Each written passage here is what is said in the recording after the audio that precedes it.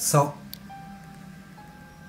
che mi accusano di superbia o di misantropia, se non addirittura di follia. Tali accuse che punirò al momento giusto sono ridicole, è vero. Non esco mai di casa ma è anche vero che le porte, il cui numero è infinito, restano aperte di giorno e di notte agli uomini e agli animali.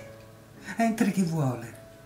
Non troverà qui lussi donneschi, né la splendida pompa dei palazzi, ma troverà la quiete e la solitudine e troverà una casa come non ce n'è altre sulla faccia della terra mente che dice che in Egitto ce n'è una simile.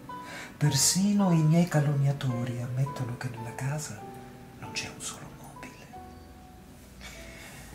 Un'altra menzogna ridicola è che io, Asterione, sia un prigioniero. Dovrò ripetere che nella casa non c'è una sola porta chiusa e aggiungere che non c'è una sola serratura. D'altronde, una volta percorsi le strade e se prima di notte tornai, fu per il timore che mi infondevano i volti della folla, volti scoloriti e spianati come una mano aperta. La gente pregava, fuggiva, si prosternava, qualcuno si arrampicava sullo stilobate del tempio delle fiaccole, altri ammucchiavano pietre, qualcuno, credo, cercò rifugio nel mare. D'altronde mia madre fu una regina. Non posso confondermi col volgo, anche se la mia modestia lo vuole. La verità la verità è che sono